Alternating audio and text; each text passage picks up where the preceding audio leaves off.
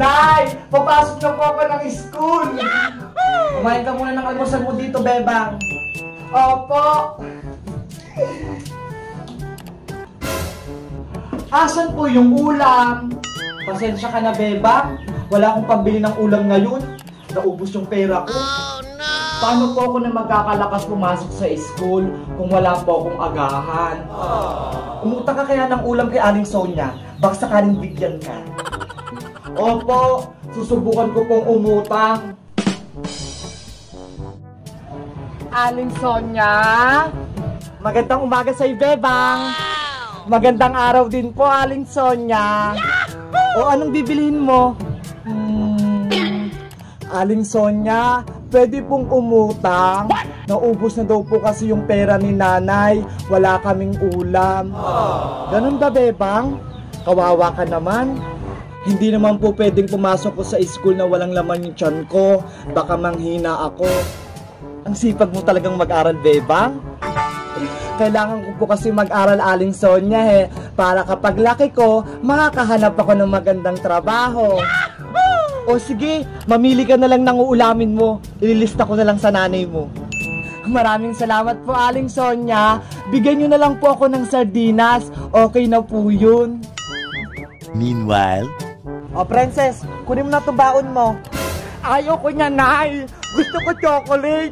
Hindi naman niya masarap eh. Ikaw, princess, ang arte-arte mo sa pagkain. Masarap at masustansya naman tong prutas ah. Basta, bilihan niyo ako ng chocolate. Yun yung gusto ko eh. Para tumalino ako.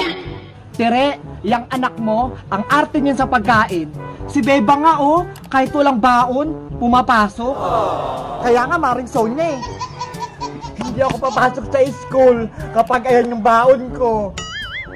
Aling Tere, akin na lang po yung dalandan nyo kung ayaw ni Princess para may baon ako sa school. Ayan, bigyan nyo na lang kay Bebang. O sige Bebang, sa'yo na lang tong dalandan. Maraming salamat po. Yay! Magabaon ako ng chocolate. six hours later. Oh, ayun na pala yung mga anak nyo eh. Galing sa school. Nay, nay! Ang galing-galing ko po na perfect yung exam namin sa school. Wow! Very good naman ang bebang ko. Ito po oh. Sigurado maring si Tang, maring Sonya, perfect yung si Princess sa school. Pinagbaon ko ba naman ng chocolate eh, pang patalino. Nay, nay! Perfect din ako sa exam namin. Hindi totoo yan. Sabi na nga, be. Ito po. Ano to ito, princess? Perfect itlog? Wala kang tama? Perfect naman po yan, ah. Puro X. ano ba yan, Tere? Talo pa ni Bebang to si Princess. Si Beba nga eh, pumasok ng walang baon. Si Princess pa chocolate pa. Aling Tere, si Princess po kasi laging nakain sa school, hindi nakikinig kay ma'am.